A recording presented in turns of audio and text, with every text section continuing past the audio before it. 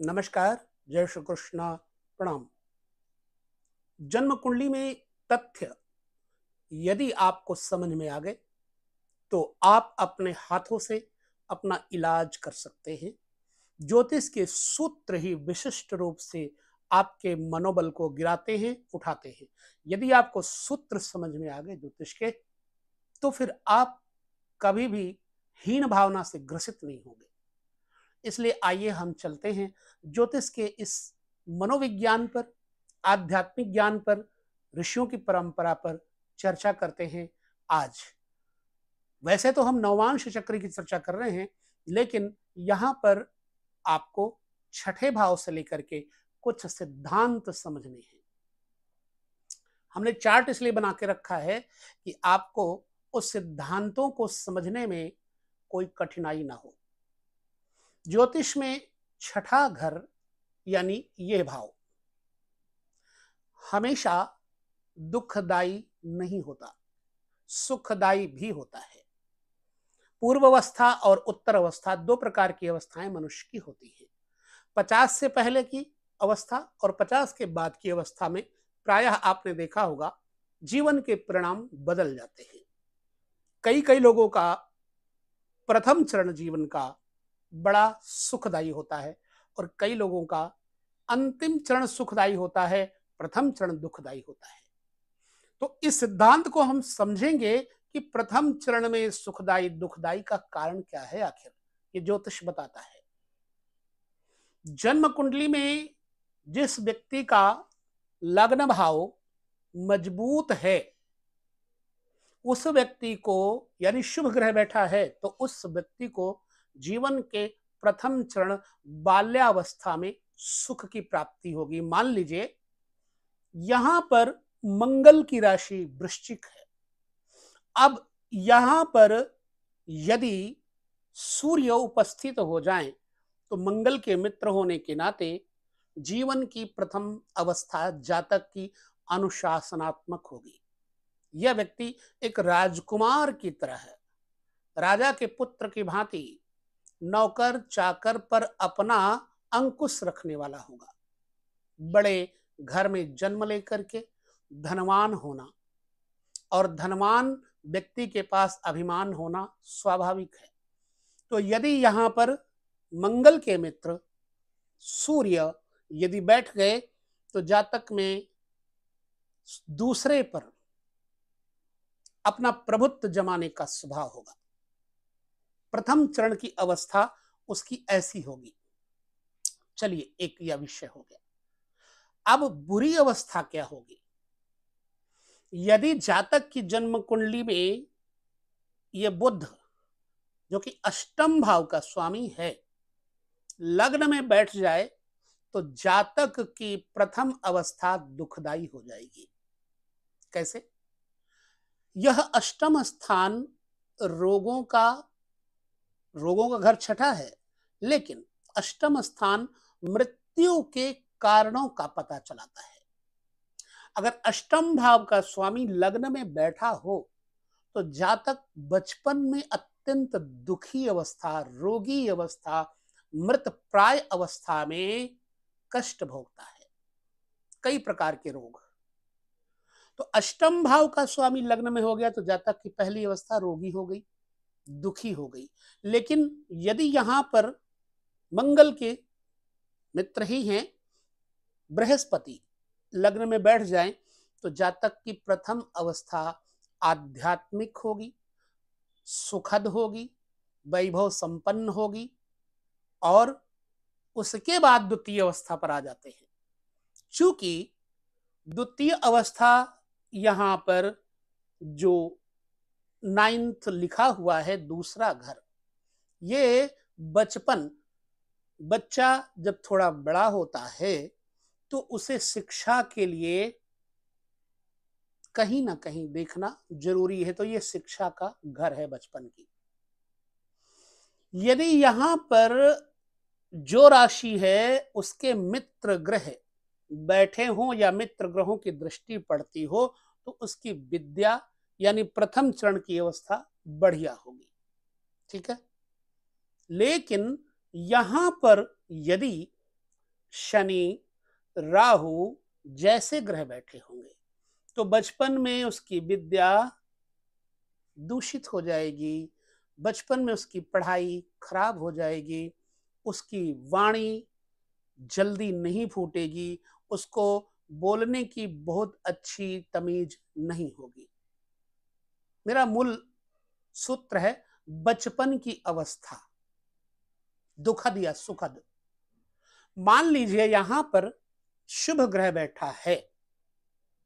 कोई भी, बेशक यहाँ बुद्ध बैठ जाए, शुभ ग्रह है। चंद्रमा बैठ जाए, शुभ ग्रह है। शुक्र बैठ जाए, शुभ ग्रह है। ठीक है? बृहस्पति की बात हम कर चुके हैं। तो जातक की शिक्षा अच्छी होगी। और जातक बचपन में ही कुशाग्र बुद्धि से जब आगे पढ़ाई में बढ़ेगा तो ठीक तीसरा चरण जो मित्रों का घर है, छोटे भाई बंधुओं का घर है, ठीक तीसरा, तीसरी अवस्था। अब हम इसको एक तरह से आपको प्रैक्टिकली समझाते हैं। ये बचपन आठ वर्ष तक, ये बचपन नौ आठ, नौ, सत्रह और दस, सत्ताईस। सत्रह साल की उम्र के बाद जब अट्ठारहवें में पहुंचेगा तो यहाँ पर बैठे हुए ग्रह, जातक के बल, पौरुष, आत्मीयता, अपने कौटुंबिक परिजनों के साथ, छोटे भाई बहनों के साथ, किस तरह का व्यवहार इत्यादि दर्शाते हैं। यदि यहाँ पर, मान लीजिए शनि की राशि मकर है बेशक यहाँ पर शनि बैठे हों तो जातक के पास बचपन में 27 साल तक सब सुख, यह भी बढ़िया हो गया। अगर यह भी बढ़िया हो गया तो यह भी बढ़िया हो गया। यहाँ तीसरे घर में बैठे हुए क्रूर ग्रह बल देते हैं। सौम्य ग्रह थोड़ा निर्बल बना देते हैं। शीतल बना देते हैं। स्वभाव स्वीट कर देते हैं, सॉफ्टनेस आ जाती है, लेकिन वो सिर्फ़ मुँह से बोल सकता है, क्रिया नहीं कर सकता। अगर यहाँ सॉफ्ट ग्रह बैठे होंगे तो। यदि यहाँ हार्ड ग्रह बैठे हैं, हम क्रूर भी कह सकते हैं। अब क्रूर ग्रह कौन से हैं? मंगल को सूर्य को क्रूर ग्रह कहा गया है और बुध को जिस ग्रह के साथ होगा, वैसा कहा गया है। तो मंगल सूर्य जैसे ग्रह यदि यहाँ बैठे हैं तो जातक की ऊर्जा बड़ी ज़्यादा होगी। और जातक किसी भी कार्य को करने में साहस पूर्वक आगे बढ़ेगा और करके दम लेगा, जिद्दी होगा। अपनी उस बात को संपूर्णतया निभाने का प्रयास करेगा। यदि तीसरे घर में बैठा हुआ कोई ग्रह क्रूर है तो। पर सौम्य ग्रह है तो जातक में मिलनसारिता तो ज़रूर होगी, लेकिन वो व्यवहार अदा नहीं कर पाएगा। ठीक है? सत्ताईस साल की अवस्था हो गई। अब जातक को अपने कर्मों के द्वारा मकान बनाना, गाड़ी लेना, अच्छी यात्रा, घूमना, फिरना, नदी, सरोवर इत्यादि में, स्विमिंग पूल इत्यादि में घूमने का एक, सुख उठाने का एक मनोबल होता है, मनोवेग होता है। तो चौथा घर अगर शुभ ग्रहों से युक्त है, मान लो यहाँ चंद्रमा बैठा है तो जातक को सुख समृद्धि देगा। माँ का सुख, वाहन का सुख, स्विमिंग पूल का सुख, अच्छे मकान का सुख, कोठी का सुख देगा। लेकिन अगर यहाँ क्रूर ग्रह बैठ गए तो माँ के घर का विनाश कर देंगे। क्योंकि यह माँ का घर है। यह दसम स्थान कर्म है। कर्म से होने, प्राप्त होने वाला सुख है चतुर्थ भाव।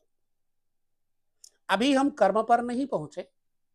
अभी हम सिर्फ़ अट्ठाईसवें वर्ष में पहुँचे हैं और हमको मकान की ज़रूरत पड़ गई। पता लगा यदि यहाँ पर बैठा हुआ ग्रह शुभ है तो अच्छा मकान, यहाँ शुभ ग्रह बढ़िया परिणाम देते हैं। लेकिन शनि, मंगल, राहु, केतु जैसे ग्रह यदि बैठे होंगे तो जातक को अपने घर में रहने नहीं देंगे, जन्मभूमि से अलग जाकर के बसाएँगे। आप यह प्रैक्टिकल करके देख लीजिए अपनी जन्म कुंडली में। यदि आप वहाँ अपने घर में जन्मभूमि पर रहते हैं तो जातक का जो वो ग्रह है, वो स्थिर प्रकृति का होगा। जैसे यहाँ पर स्थिर राशि है और यहीं पर शनि बैठ जाए, क्योंकि स्थिर राशि के स्वामी शनि है। तीसरे घर का बल चौथे से कम हो तो जातक अपने घर में निवास स्थान, जन्म स्थान पे रहता है। क्योंकि ये चर राशि है। चर राशि का स्वामी यहाँ बैठेगा तो जातक अपने जन्मभूमि पर रह सकता है। लेकिन यहाँ का स्वामी यदि यहाँ बैठ गया शनि यहाँ बैठ गया तो ये चर राशि में होने के कारण जातक अपनी जन्मभूमि छोड़ करके अलग रहने लग जाएगा। यहाँ पर बैठे हुए ग्रह जातक की माँ के ऊपर बड़ा प्रभाव डालते हैं। माँ का स्नेह, करुणा, दया इत्यादि दर्शाते हैं। ये केंद्र भी है। केंद्र में बैठा हुआ ग्रह समुचित रूप से अपने सभी घरों में प्रभाव रखता है, केंद्र को पावर देता है। चलिए, उसके बाद चलते हैं। अब जातक को कर्म के माध्यम से यदि ये 18 वर्ष 27 वर्ष से पहले ये घर जागृत हैं तो जातक को बचपन में 18 वर्ष से पहले ही पुलिस की नौकरी, वर्दी वाली नौकरी, अग्निशमन विभाग या फिर किसी विशिष्ट पद की प्राप्ति बल पौरुष से करवा देती है और तब जातक को सुख मिलता है। सुख का घर ये है, मज़बूत हो गया। जातक के सुख के बाद जातक को विद्या स्थिर है, साधना स्थिर है, धन, साधन, भजन, ये सब का घर ये है, पांचवा घर। अंतर शक्तियों का घर है, पांचवा। पांचवे में अंतर शक्ति जातक को अगर है तो इंट्यूशंस ज़रूर होगी उसको। ऐसा जातक यहाँ से बैठ करके शुद्ध ग्रह होने पर सभी का अवलोकन करता है। मूल त्रिकोण में बैठा हुआ भाग्य को भी अवलोकन करेगा, आमदनी को भी अवलोकित करेगा, कहीं ना कहीं लग्न को भी अवलोकित करेगा कहीं ना कहीं धन को भी आलोकित करेगा, बल पौरुष का अवलोकन करेगा शुभ ग्रह होने पर। जातक यहाँ से बैठ के इंट्यूशन के द्वारा, हर चीज़ को विचार के द्वारा विशुद्ध कर लेगा। पर यह घर मज़बूत होना चाहिए, क्योंकि ये घर पुत्र का भी है। यदि यहाँ पर कोई ग्रह शुभ बैठा है तो पुत्र शुभ अवस्था में सुख देने वाला होगा। यदि यहाँ पर कोई ग्रह अशुभ बैठा, मान लीजिए यहाँ बुद्ध बैठ गया है, यहाँ मीन राशि है, मीन राशि में बुद्ध नीच का हो जाता है तो जातक का जो पुत्र होगा, वो मूढ़ होगा, भोला भाला होगा। जातक स्वयं भी अच्छे विचार करने में असमर्थ होगा, मूर्खतापूर्ण हरकतें करेगा, अधिक बोलेगा और अनावश्यक बोलेगा। तो लोग उसे मूढ़ कहेंगे। परंतु यहाँ बैठ जाए बृहस्पति। पुत्र का सुख देगा। पुत्र शुद्ध होगा। धन, ऐश्वर्य, कीर्ति, अनुशासन, राज्य सत्ता, इन सब का देने वाला तथा धनवत्ता का देने वाला हो जाएगा। बृहस्पति बैठ जाए यहाँ बढ़िया। चंद्रमा यहाँ बैठेगा तो पुत्रियाँ ज़्यादा होंगी। शुक्र बैठेगा तो जातक को प्रेमी बना देगा। जातक प्रेम प्रणय में बहुत अभिलाषा रख करके किसी न किसी विषय को जब भी सोचेगा तो केवल उसका एक भोग ही लक्ष्य होगा। पंचम भाव में यदि मीन में शुक्र बैठ जाए, कर्क में शुक्र बैठ जाए वृक्ष में शुक्र बैठ जाए, तुला में शुक्र बैठ जाए तो जातक का एक ही लक्ष्य होता है कि अपने को किसी भी प्रकार से ऐश्वर्य और आराम दे वाली वस्तुओं को इकट्ठा करना, संग्रह करना। भोग सामग्री इकट्ठा करना, प्रेम के प्रति उस समय हमेशा सजग रहता है और उसके अंदर उदारता होगी, करुणा होगी, लेकिन लक्ष्य होगा क्या? भोग। भोग लक्ष्य होने के कारण उसके भोग मिलते भी है, क्योंकि ये पांचवा घर व्यक्ति के संकल्पों को सिद्ध करता है। तो जब पाँचवें घर में भोग प्रदायक ग्रह बैठे होंगे और उसकी इच्छा भोगों की है तो पांचवा घर उसकी ये अभीष्ट शक्ति पूर्ण करेगा, क्योंकि पांचवा घर संकल्प है। और पाँचवें घर के किए हुए संकल्प सभी घर को मज़बूत मज़बूत कर देते हैं। यहाँ से प्रेम की धारा उठी और यहाँ भोग में आकर उसका पराक्रम बल, भुजा, क्रिया, जैसे तीसरा घर भुजा है तो पंचम से तीसरा घर सप्तम है, सप्तम घर भोग है। सप्तम घर पत्नी का घर है, जीवन साथी का घर है। तो जब यहाँ से संकल्प उठा तो उसके भोग की इच्छा होगी और वो कार्यान्वयन कर देगा, कार्य को, सोच को क्रिया में परिणत कर देगा, अपने कर्म में परिणत कर देगा। तो यह घर भोग सुख का अनंत आनंद देने के लिए बेशक मैं ये शब्द कह रहा हूँ अनंत वाली बात गलत है, लेकिन हर भोग का अंत होता है। यदि ये घर सही हो गया, अच्छे संकल्प हो गए तो जहाँ तक योग में जीवन जीता है और उसका ये भोग का घर जो है, वो योग में बन जाता है। लिहाजा वो व्यक्ति अपने धर्ममय जीवन को जी करके पति पत्नी सहित, परिवार सहित मर्यादा में अंकुश में रह करके अपने संकल्पों को परमात्मा के ध्यान भजन में मिला देता है और तब उसका भोग बन जाता है ठीक तीसरा घर योग। भोग से तीसरा घर योग, भजन, ध्यान, स्मरण, कुल परंपरा की मर्यादा का निर्वाहन करने वाला भाग्य और विद्या, आंतरिक विद्या आध्यात्मिक विद्या गुरुजनों से प्रीति देने वाला होता है। तो इसने क्रिया का जब क्षय किया, अपने भोगों की समाप्ति हुई तो इसके अंदर मोक्ष के प्रति, भजन के प्रति इच्छा जागृत हुई और ये भजन के द्वारा, तत्काल अपने भजन के द्वारा प्राप्त योग को, भक्ति योग को, मोक्ष योग को प्राप्त करके आमदनी पिया जाता है। आमदनी पे आया, उसके बाद जब अंतिम क्षण होता है तो इसका बल पराक्रम प्राप्ति, भाग्य से प्राप्ति आमदनी है। और आमदनी का एक लक्ष्य है किसके लिए? हम ये कमाए हैं किसके लिए? खर्च करने के लिए। धन की तीन अवस्थाएँ होती हैं। धान की तीन अवस्थाएँ होती हैं। नंबर एक, दान। नंबर दो भोग, नंबर तीन क्षय, यानी विनाश। ये विनाश की अवस्था को दर्शाता है। यदि ये घर मज़बूत हो गया, ठीक, ये घर मज़बूत हो गया तो उसका योग, धन प्राप्त, सत्कर्म में खर्च करने का होगा, ये घर बे है। तो यहाँ से बचपन शुरू हुआ, और सुख तक आए, पुत्र तक आए, पुत्र की इच्छा संकल्प की इच्छा, विद्या की पावर इंट्यूशंस यहाँ आकर के भोगों में, धर्ममय भोगों में, उसने अपने को, बल को, वीर को छरित कर दिया और तब योग की प्राप्ति हुई। योग से उसे जो आमदनी हुई, उसने खर्च कर दिया और तब वो मोक्ष की प्राप्ति कर लेता है। इसलिए बचपन यदि बुरे ग्रहों से आच्छादित है तो व्यक्ति को बचपन में रोग सताएँगे, मृत्यु भी कई बार हो जाती है।